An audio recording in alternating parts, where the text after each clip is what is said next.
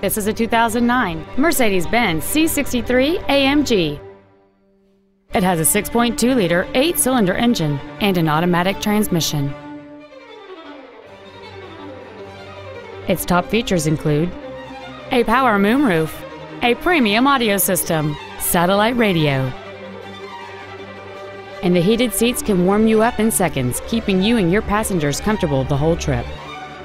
The following features are also included air conditioning with automatic climate control, a split folding rear seat, cruise control, a leather wrapped steering wheel, front side impact airbags, an auto dimming rear view mirror, a home link feature, a rear window defroster, a keyless entry system, and the rain sensing windshield wipers can turn on automatically if their sensor identifies water on the windshield.